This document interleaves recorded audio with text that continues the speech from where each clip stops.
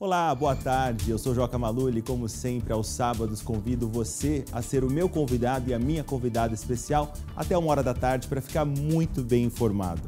Nós começamos a edição de hoje mostrando para você que muita gente aproveitou a última etapa do Sabadou Vacinou em Rio Preto para atualizar as vacinas. Sete unidades básicas de saúde permanecem abertas até uma hora da tarde. Vamos conferir.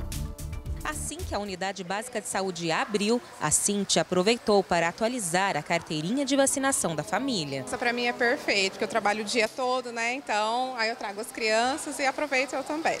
O Sabadou Vacinou tem como objetivo aumentar a cobertura vacinal da cidade. Por isso, aos sábados, algumas unidades básicas de saúde ficaram abertas para atender a população.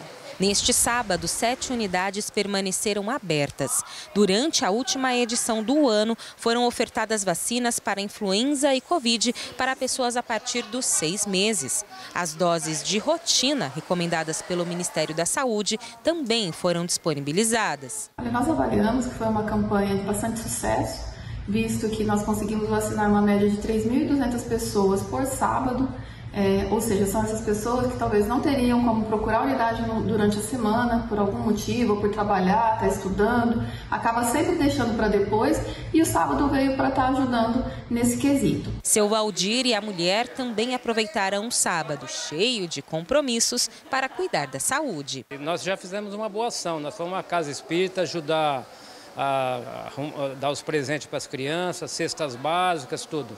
Aí agora cuidar da saúde. Agora vou cuidar da saúde e agora vou lavar o carro. Eita, o calor. Sábado tá cheio então. Sábado tá cheio.